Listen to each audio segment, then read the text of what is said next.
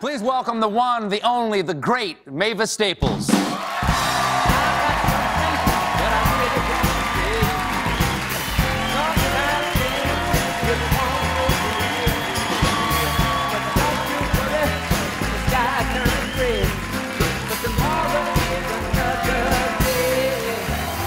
I love you too. Please have a seat. Okay. Oh, Whoa. it's always so nice to see you. It's such a pleasure.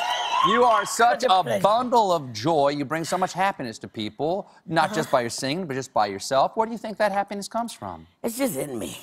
Oh, really? Just the joy in me, you know. I, I, I never let it go.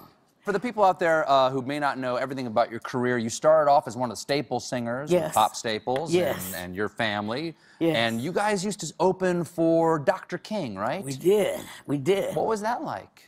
Oh, that was great. We traveled with Dr. King for years. We uh, would, would sing before he'd speak. Really? And uh, he had a song that turned out to be his first, I mean, his favorite. What was that? Why Am I Treated So Bad?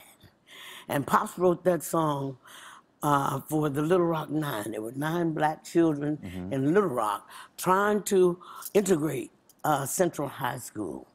And Pops, we would watch these kids at, at my age.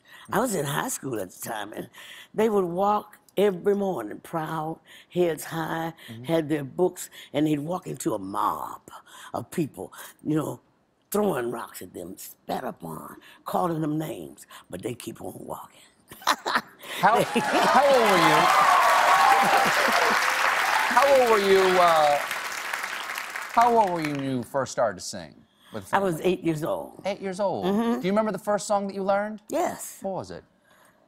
Oh, they tell me of a home where no storm clouds rise on cloudy day. Wow.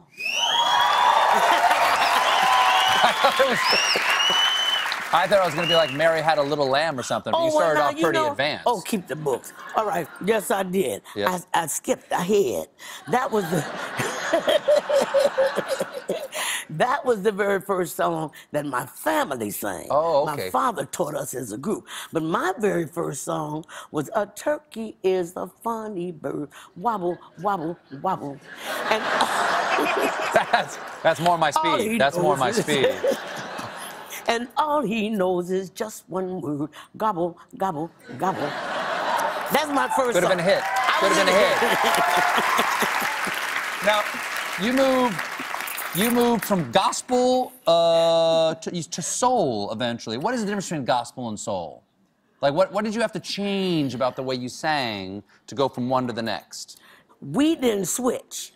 What happened was, my sisters and my brother and I, we sang with my father for years with just pops guitar.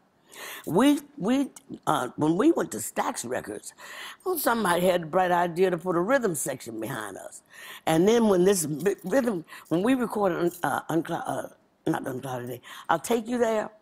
Well, that beat bump bump bum bum bum bum boom mm, mm, bump, bump, bump, bum bum bum mm. bum and so everybody would hit the floor even the church people. Church people hit the floor, you know. So they started going and saying, them staple singers, they singing the devil's music.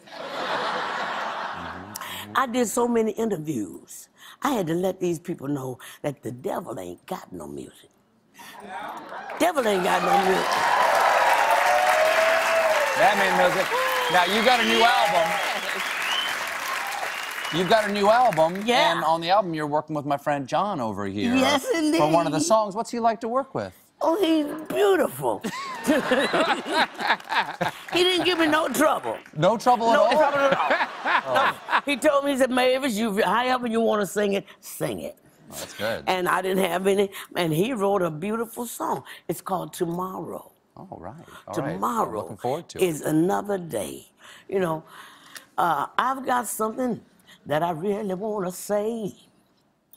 Sometimes things just won't go your way. Don't give up for tomorrow day. Uh, tomorrow is another day. We'll be right back with a performance by Mavis Staples. Mavis premieres on HBO February 29th. Stick around for the performance, y'all. We'll be right back.